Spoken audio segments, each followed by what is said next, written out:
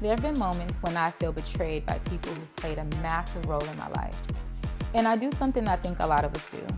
Sometimes, when things get tough, I wonder if God's going to do the same.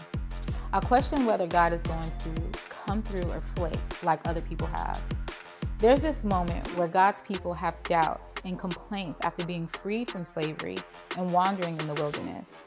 They become hungry and upset with Moses and Aaron for not providing them with the never ending supply of what they need.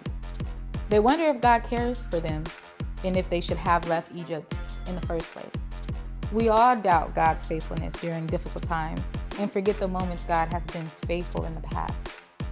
However, God responds to their claims compassionately and provides them with manna, a strange but delicious bread that satisfies their hunger.